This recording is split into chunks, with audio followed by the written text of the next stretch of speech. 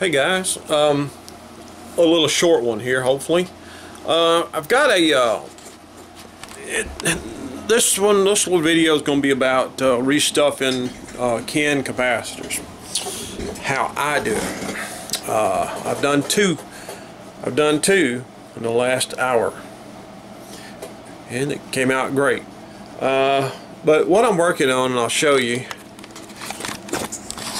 what I'm working on is a, uh, let me turn this up, is a Hewlett-Packard uh, model 400D as in dog or Delta, 400 Delta vacuum tube voltmeter. Very nice. Uh, but it's got a ton of, uh, it's got a ton of uh, can electrolytics in it. One, two, three, four, five. Can you tell which one has been restuffed? No, you can't. I've restuffed these two. Just finished one. I finished this one, I believe. So what I'm going to do is I'm going to show you how I, my, the procedure that I've done I have never really never restuffed one of these to the degree that I have these. So I'm going to, uh, when I turn the camera off here in a minute, I'm going to pull, uh, go ahead and mark the uh, leads and everything on this, how it's oriented and all this stuff. I'm pull it out, and then once I get that to that point, then we'll start the uh, decanning process, I guess you could say. So it'd be interesting. Uh, hope uh, might get a like or two out of it. So when I get prepared, I will bring you back. Okay. Um, one of the things that you have to do to get these twist lock caps out um, is get them out. And this is the one that I'm getting out next. So there's a trick to it. And uh, you don't just go twisted on the tabs with a pair of needle nose. Uh, there's a trick to get them out without breaking those tabs. It's effective 99% of the time. So need to point this to where I think I have my camera in the wrong spot. Let me move you over here to the other side. Oh, oh. Check out my lighting system. Gotta have enough room to work. Reorient you. I think that's the one I need.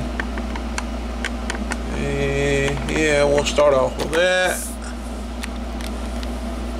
Yeah, where are you? Let me find my capacitor. This one here, my light. Wrong spot. Get some better light for you guys. Alright, where are you at? I get my... I feel like it's important. Tell you what, let me turn this over. Yeah, there we go. Yeah, we're getting there. I need this point here. Let me widen it out a minute.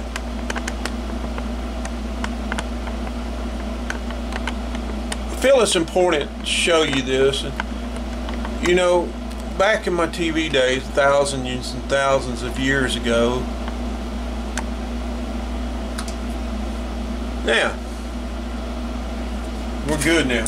Anyway, what you do is, oh shit, sorry about my language.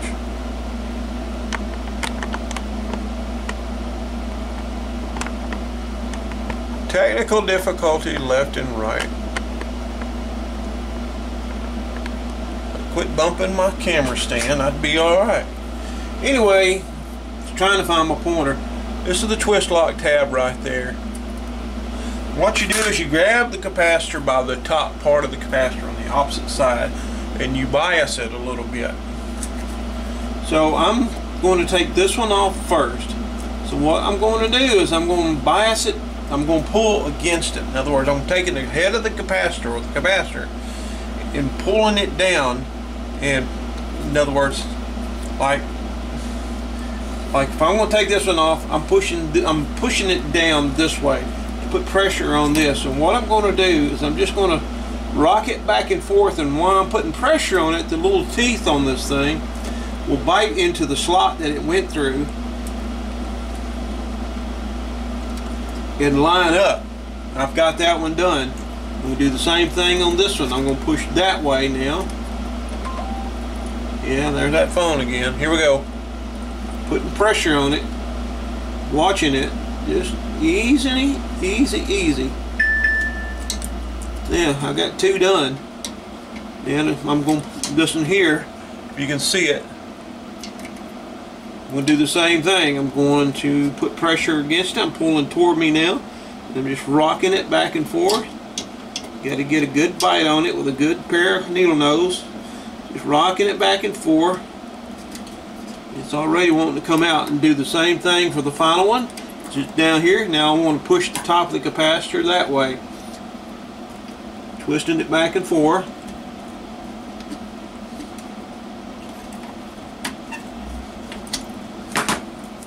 Voila! Free and I didn't break any tabs. Okay, so I'll get set up for the next phase and uh, we'll go from there. I got to see what this text message about. Okay.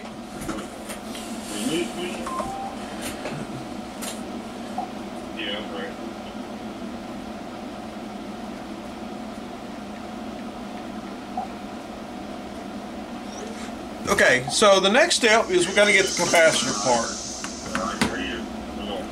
Okay? And, uh, where in the living flip is my pointer? Anyway, around the bottom of the capacitor is where they crimp. It's where they crimp this. There's a metal ring right here. Uh, the, the capacitor and everything in it is aluminum. But there's a metal ring here which allows you to solder to things. And it's crimped onto the bottom of the can and the insulating base here, or the terminal base, whatever you want to call it, of the capacitor. So you got to break that crimp uh, and get that ring out. So basically all you do, take a good pair of sharp, thick needle nose, you go around the base and you just pick you a spot you can get to. Here, let me and let's see, we're going to start. We're just going to dig in Just grab it a little bit, twist it a little bit, grab it, twist it a little bit, just get it started. Don't take big chunks. Getting it again there, getting it again. I got it started. And you see how I'm peeling it away?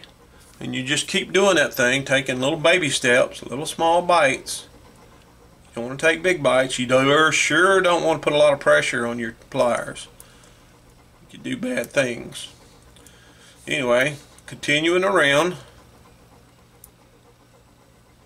I've never really been successful doing this before, and I decided uh, when I started working this uh, voltmeter, and I saw that it and every capacitor in it was bad. I said I'm going to learn a different way. Anyway, that's where I'm at right now. so so far so good. I haven't messed up yet. Now this capacitor has a uh, has a plastic uh, uh, plastic covering on it, a little clear plastic. And uh, I've been able to save that. Now I couldn't get it off. I'm just leaving it on there as a protection kind of to the metal can itself. But it does come off and we'll show you that in a minute. But I'm just continuing on taking little baby steps.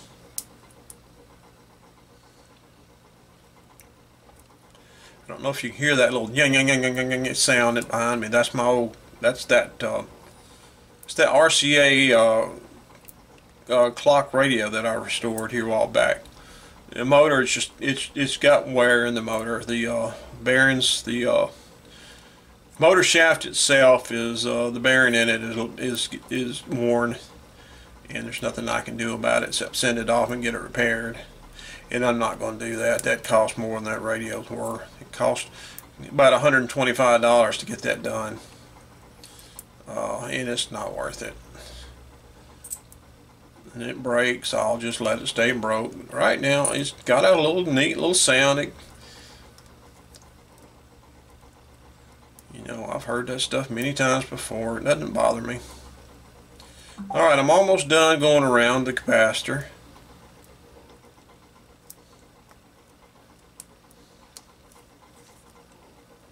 Now I'm just kind of going back, cleaning up, making, looking, making sure I don't have any spots that might be tight.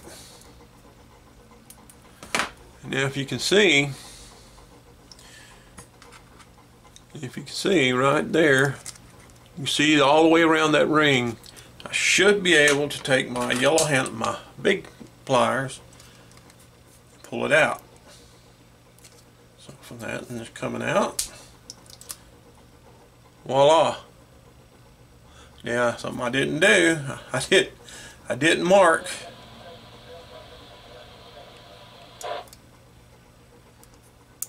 almost messed up but I know where this come from one thing that you should do is take you a permanent pin before you pull this ring out is mark the orientation of the ring in regards to just make you a landmark. It doesn't really matter. I usually go where there's a little block square and just put a dot, I mean a little dash or a little dot, just a little marking. It's important and I'll show you why when we put this thing back together into the vise we're working on. Anyway, there's the ring. Put it aside. Now don't just grab this and start pulling bad things happen. These capacitors, or this particular one, are cemented down here. They usually have a little bit of tar-like substance down here in the bottom, so you got to heat that up. In this capacitor's case, you got that little metal film on there, you can see it right there. You got to get that off. So that just takes a little due diligence. Sometimes you got to heat it up a little bit. Get it warm just a little, make it pliable, you don't melt it.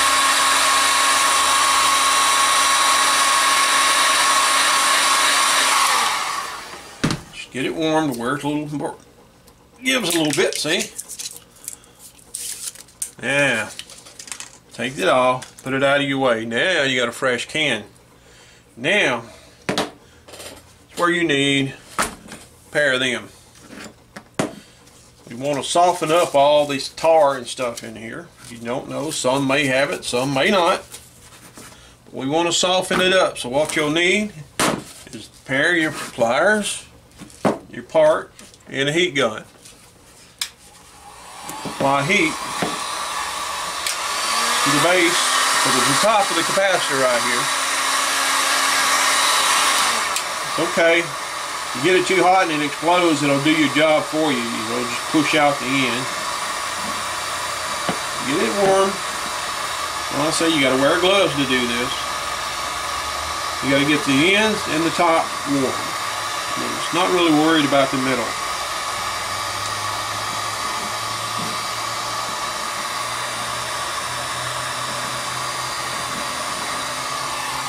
That ought to be enough. Give it a minute. Now, which one is this? This is the 20. I did, first one I did was like this, and I almost broke it. Oop. That wasn't supposed to happen. well, that's okay. We're going to continue on. I didn't get it hot enough. Continue on. We'll get it good and warm. We've got to get this out. This next section here, we've got to get it out without damaging it somehow or another. And I damaged the other one. So,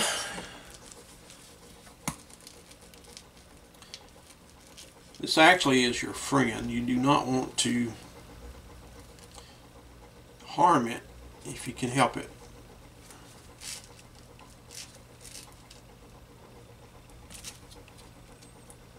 In this case you might not be able to help it.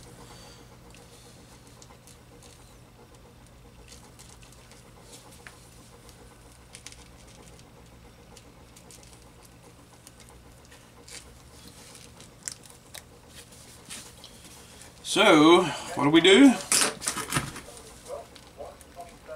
It should come out. You just got to do it just right. That didn't work. Make a monkey liar out of me. Now, let me get this piece out here. That's that rubber I think is stuck. That's one biggest problem there. all the heat I applied to it, it did not disappear. Didn't realize that before. It's alright. I got it this time. It's unfortunate that it didn't come out when I was ready for it to. This really need to keep this intact right here, this piece here. Or as intact as you can get it, because that's important for putting this thing back together right.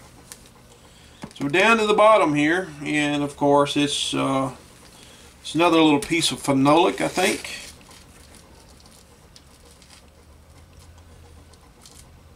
And it is stuck like you wouldn't believe.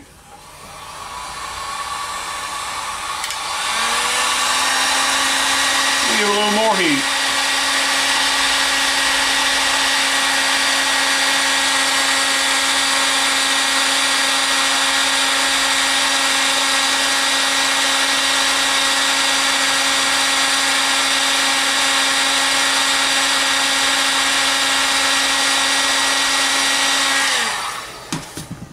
Thing might explode. That'd be a YouTube worthy of YouTube. Hot enough by George.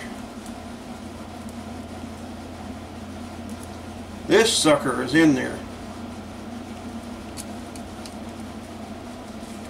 It's uh, very vital it comes out. There we go. You need this piece. You have to save everything from everything you can. You need this piece. You need that piece and you need this soft rubbery piece too. You have to have that. Now there's the inside of the capacitor. So how do you get that out now? Well, pair of pliers. Reach in there, kind of like kind of like gutting a fish. Just reach in there, pull straight out. There it is. Little different on that one there. That was a little difficult. But we got it. Now all you got to do is just clean it up. Now I don't know what this stuff is made of. That's another reason I have gloves on and I'm trying not to touch it unless I have to. But just go in there and clean the junk out of it best you can. You got to be perfect.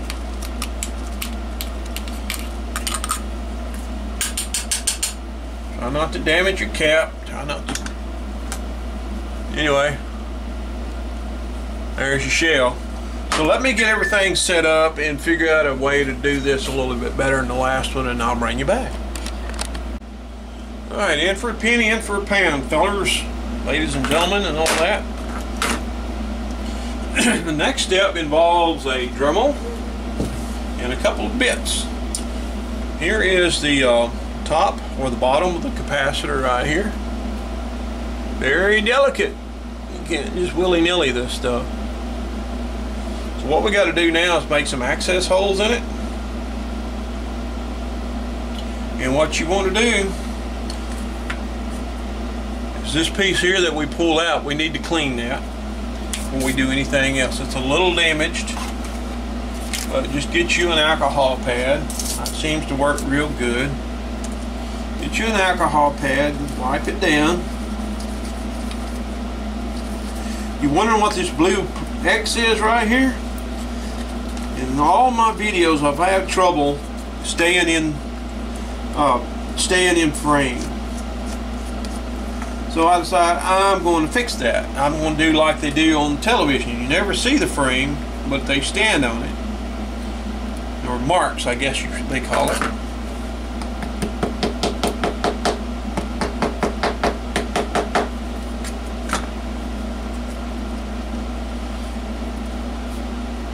Can do this stuff and not worry about being out of frame. So what I do now, I'm taking this rubber piece and first off, let's go back here. You see them little pieces of aluminum sticking up? Cut them off. Can't solder to aluminum. Some of you people have been doing this a long, long time know that. I don't mean to insult your intelligence or nothing. If you're just starting out working on radios, hey, basically put it back together, okay? Just like it came out. It was the bottom part that has the lug, the terminals on it, and then the rubber piece, and then the other piece on the bottom, okay? You want it to be like that. Get it situated like you need it. And what you want to do next, what you want to do next, let's get you up here real close. Let's just say like on the back side of this connector right here, right there, right there. You want to take your small drill bit. Uh, see what size is it? I'm using a 560 out 564th bit. Okay. You will take that bit and go right in behind that, go straight down, take your time drilling. You want to drill through this whole section and do that for the other terminals. And uh, on this capacitor here is a little different. Um, the ground, let's see, this is, I'm sorry. Uh, see, yeah, yeah, all four of these, I'm sorry four two, uh, 20 microfarad 450 caps It's got to go back in here. So you want to drill a hole behind each terminal and let's see if I can do one without destroying something. My brand new Dremel that I got for my birthday. Can you see? No, you cannot.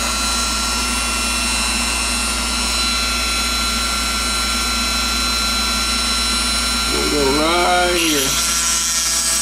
Taking my time. Let the drill do the work. Don't want to rush this. Really need a piece of wood under there. I don't like drilling into my workbench.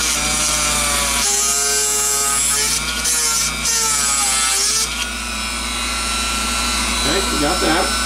Two down, two to go.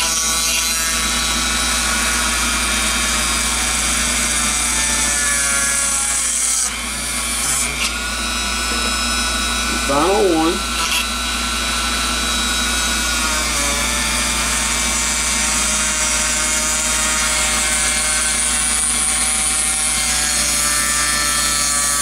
Let the drill do the work. Okay. Now the only other thing drill you gotta hole you gotta drill is for the ground.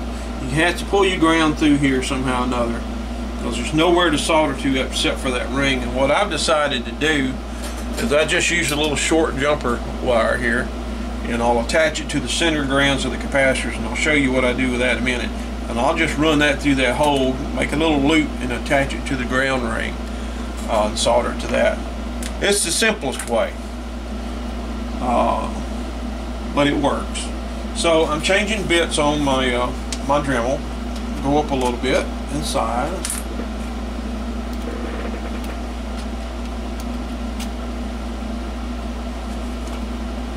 Love this Dremel. Alright, there's a big hole in here where uh, apparently it's for uh, pressure relief. And I use it.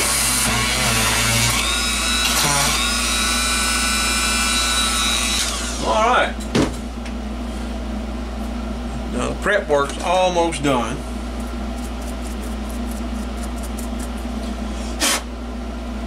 This makes a mess, by the way. I didn't feel like going out to my workshop. My mechanical workshop, I guess you could call it. Now, if you look on the bottom, real close, you see four little holes. Five, actually. Yeah, I, I gotta quit doing that. I'm putting holes in my workbench. I should know better than that. That's very, that's very uncool. So get you some tape, your favorite tape, it doesn't matter. Just something to hold the stuff together what you want to do is get your capacitors lined up. I like to take the grounds and point them together. I usually point them to the inside.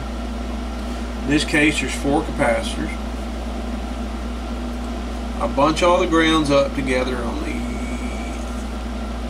inside on this one.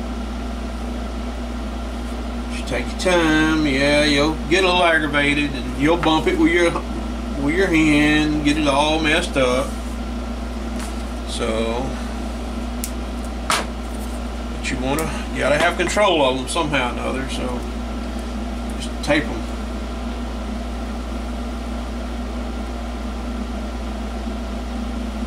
Yeah, man. You gotta have control. That's all you really need to do. Now we got that. Now what you do is fold your positive side of your capacitor. Fold them down out of your way so you can take, put this in your hand, take all these leads, twist them together. Kind of like twisting the fuses together on a bunch of firecrackers. Take your hot soldering iron, minus 660 degrees. Now I'm going to clip that, make it look pretty.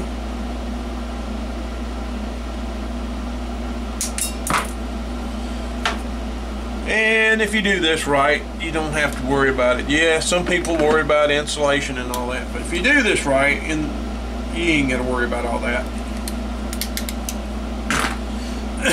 How are we going to do this? This capacitor just happens to be the same values uh, in all uh, four sections, so it doesn't matter what lead, what positive lead comes out. They're all the same. Of course, if this was 20, 30, 50 or something like that, or 20, 30, 15, 10 or something like that, then you would have to orient your capacitors. That way when you push it through there, that it would match the uh, symbols on the bottom of the capacitor. If that makes any sense. If it does, just somebody tell me.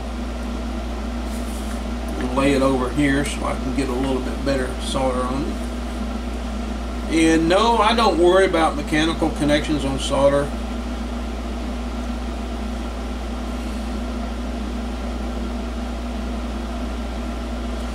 There is a way to do it, there's a proper way and all that mess, but that will last forever. Longer than these capacitors will. So now that we got that, it's time to put together. Get your leads here. This is all the positive leads and what we're going to do, take this white wire, shove it through the hole, the large hole. The large hole happens to be an eighth inch. Remember the other smaller holes that was right behind the terminals were 564s. We're going to take, find these holes and put these capacitor leads through there until we get them lined up like we want.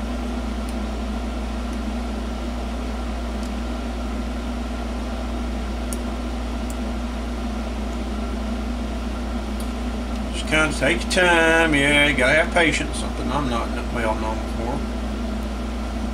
Push them in there. One thing that I should have done on this one here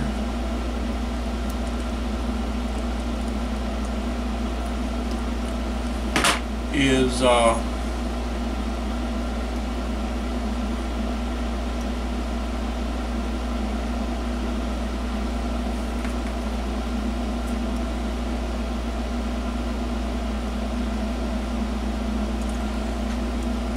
see this. What you want to do? You see how I got that?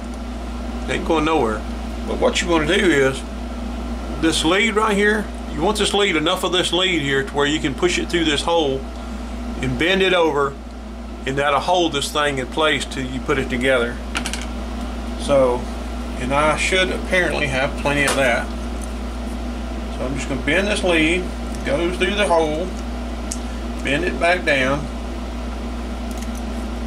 and I need to knock some solder off this one here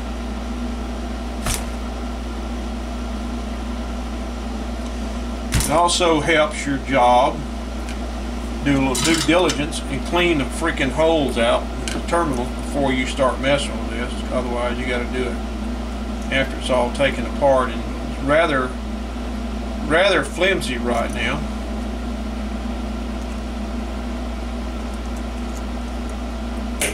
Very delicate. bend those little, bend your leads through there. Alright. Do all four of them, and it's important to do this.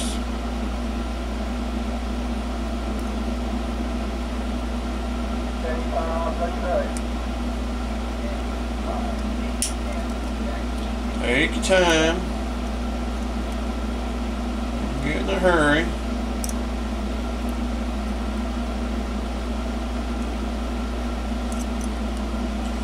Three out of four done. Now find number four.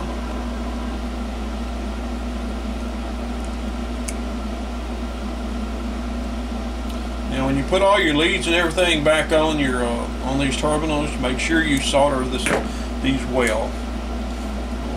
All right. Now, looks like a smell fireworks, doesn't it? But it's ready to go back in the can. Got the can cleaned out. You just take this little dude, drop it right back in the can.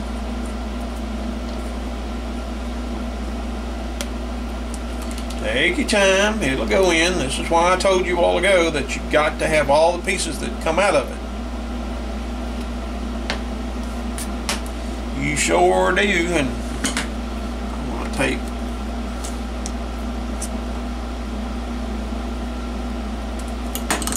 and you get your ring goes put your lead through there your ground lead. Now remember that little mark you made a while ago to orient the thing? Orient find your notch which is right there. And there's a reason why and I'll show you in a minute. That you got it in there what you want to do next is find your hammer, a little small ball peen, something precision, tacking hammer, whatever. Put a little pressure down on one side of it.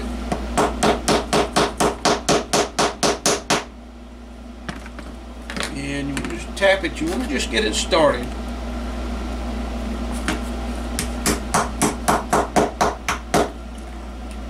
Just bend it over slightly, don't beat the snot out of it.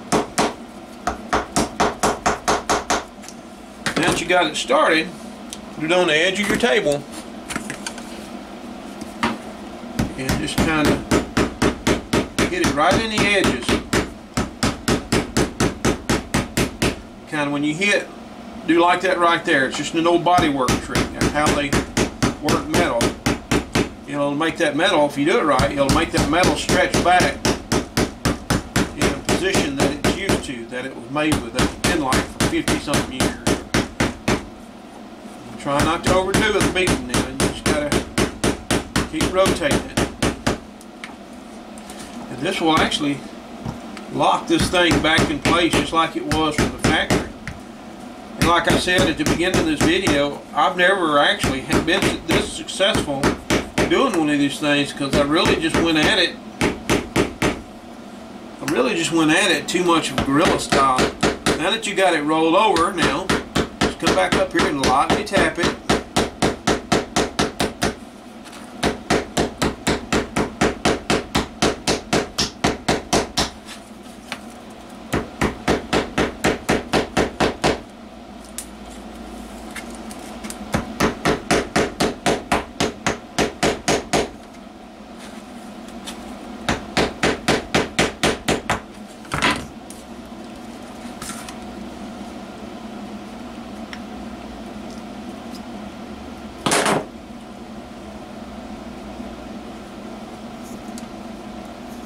I didn't have to cut the top off or anything. That looks really good. Now that I've got that part done, now I can put the uh, plastic back around it.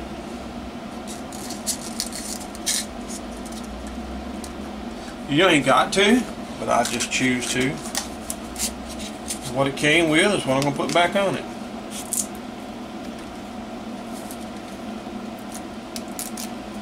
Did suffer a little damage. Voila! I'm going to put it back in the uh, device that I'm working on. Won't take me just a few minutes to do that. And then once we do that, I'm going to test it with my capacitor tester.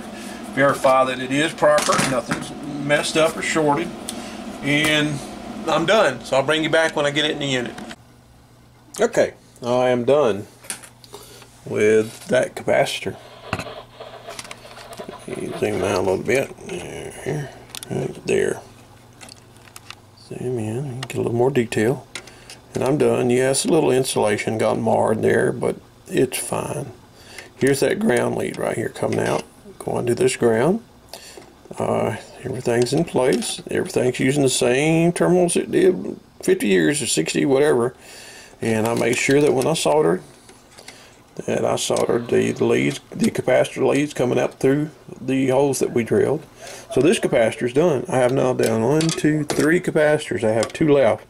I have this capacitor left right here and I have this capacitor left right here to do and this one will be ready to test anyway that's that for this video thanks for watching hope you learned something adios